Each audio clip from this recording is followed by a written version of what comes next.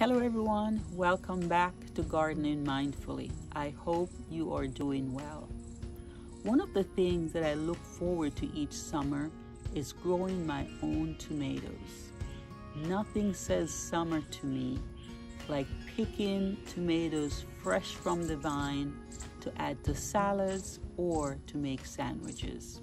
Today I'd like to share with you three issues that I'm having with a tomato plant, this plant right here that's growing in this container.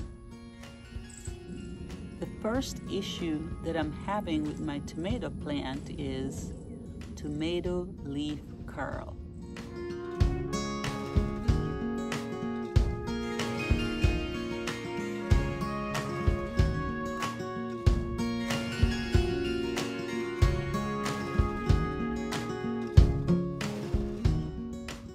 Second issue is blossom drop.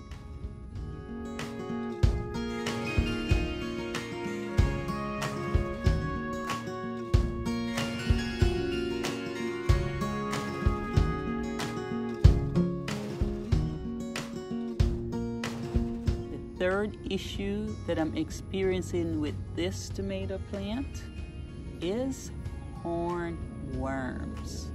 Need I say more?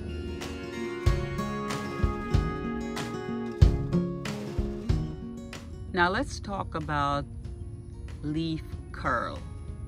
When your tomato plant experiences leaf curl, the leaves either turn upwards or downwards.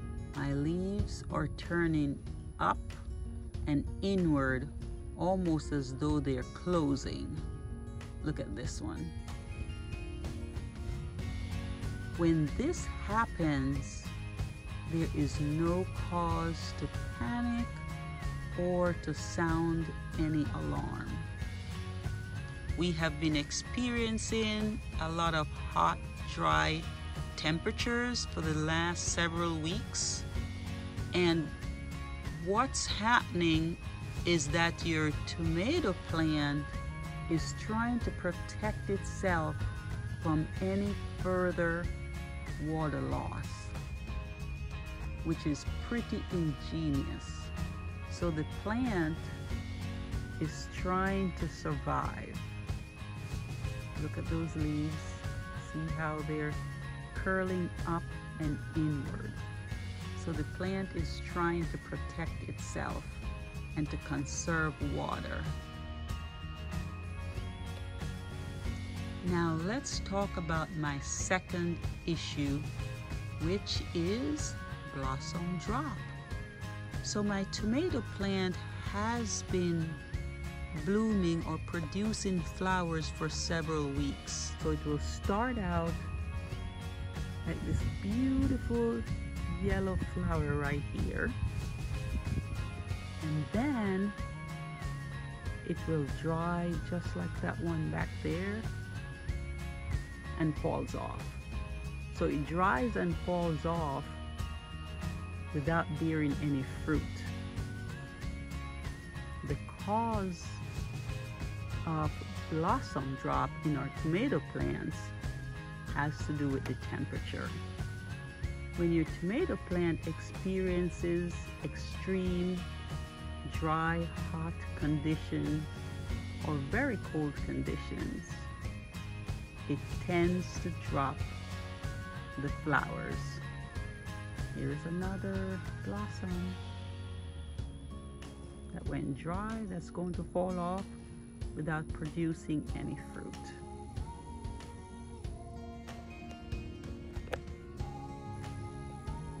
Now regarding the leaf curl, besides extreme temperatures, other reasons why your tomato plant may experience leaf curl is either due to lack of water or too much nitrogen. But that's not the case here with this tomato plant. My issue has to do with the extreme temperatures that we have experienced the last several weeks.